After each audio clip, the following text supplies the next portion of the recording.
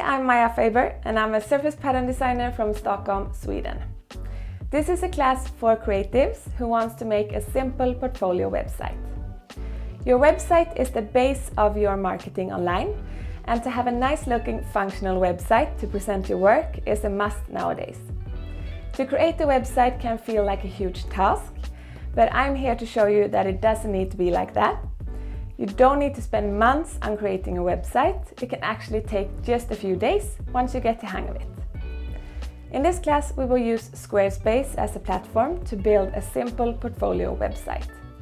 It will be based out of a template, but I will show you how you can tweak and personalize your template if you wish to do so.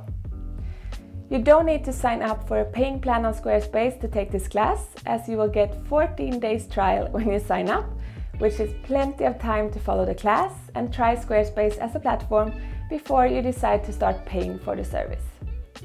This is a class for you who wants to learn how to create a simple portfolio website. You don't need to be tech savvy, we won't use any coding. You can be a complete beginner and you don't need any previous experience in creating websites to take this class.